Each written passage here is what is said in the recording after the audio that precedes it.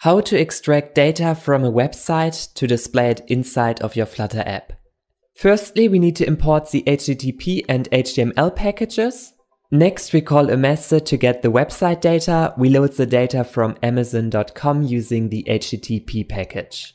Let's also go to this website URL. On this website, right click on any elements that you want to extract and then select inspect or inspect element. With this, the HTML source code of this website is opened and it automatically selects the title. Simply right click on the span tag and then choose copy and copy selector. Do you want to learn Flutter in a better and faster way? Then simply join our 12 week Flutter training on heyflutter.com where you master all the Flutter topics such as Dart, UI design, state management, Firebase, clean architecture, databases and so on by watching our structured courses that help you for each topic to go from a newbie until an expert level in Flutter. Next, back in the IDE, we want to query this HTML source code by pasting the query selector inside. And from the span element that we get back, we extract the inner HTML code. Lastly, these extracted titles we print then to the console.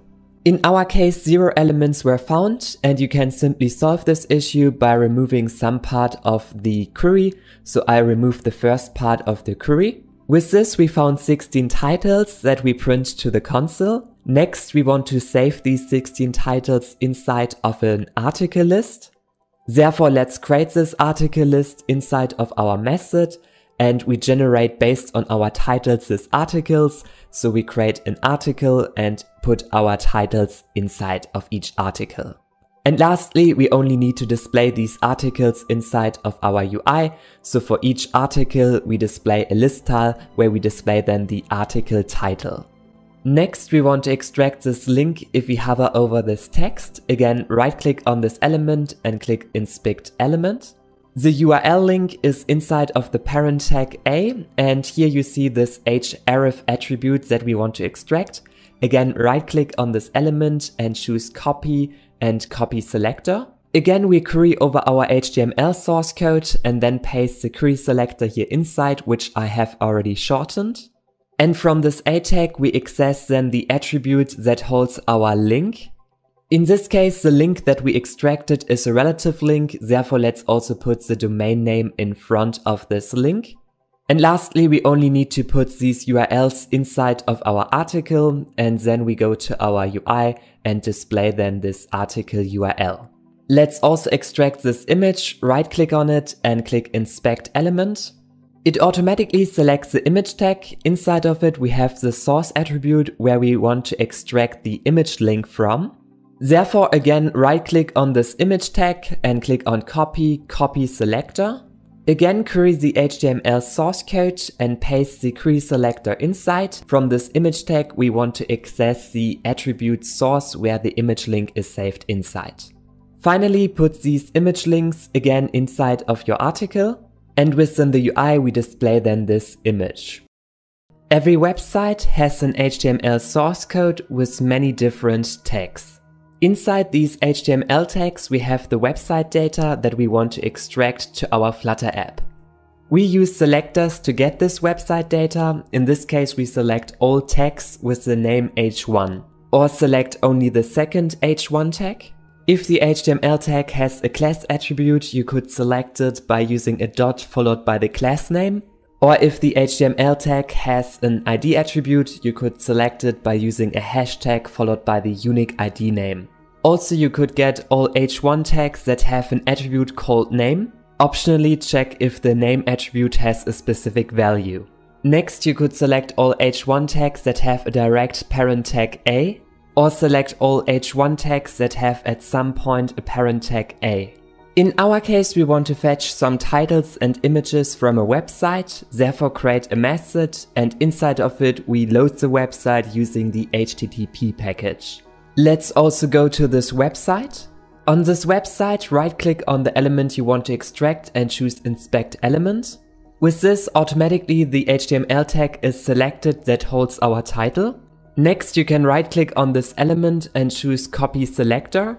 This selector will only select this specific title. However, we also want to select other titles. For example, this title here, it is again an A tag and around it we have an H2 tag. So we can shorten the selector. We choose H2 tags that have inside of it an A tag and this H2 tag has a class name postcard title to make it even more precise.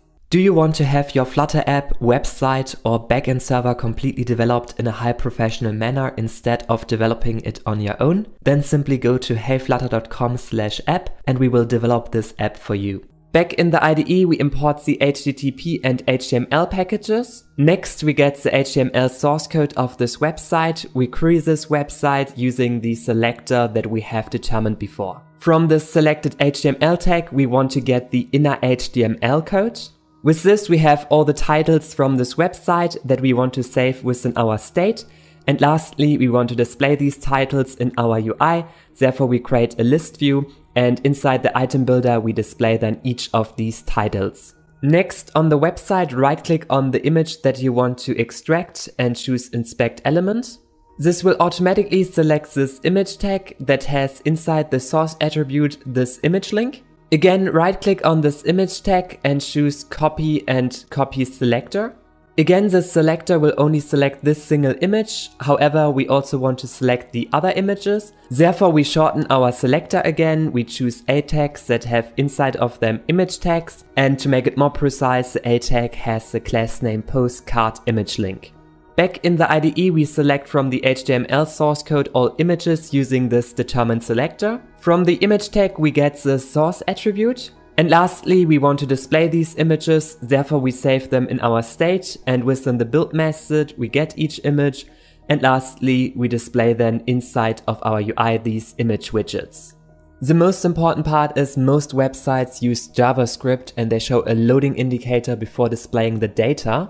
If you disable JavaScript, then you see the HTML website that our Flutter app is fetching. Therefore, we want to look at how we can get the HTML code after JavaScript has modified this web page so that we can fetch all of this information. For this, we use this example website where our Flutter app always fetches the not JavaScript version.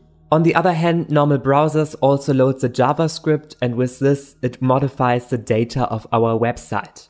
Inside your Flutter app, you could use a web view to load the JavaScript version of this website. In our case, we hide the web view, however, it still needs to be inside the build method. Next, once the JavaScript website is loaded, then we also load the HTML source code and we put the HTML code into a new method. This HTML string you convert to an HTML document and then you can query this HTML document as we have done before. And now we save this title inside of our state. And lastly, we display then this title inside of our UI. With this, the data from the JavaScript website version is displayed.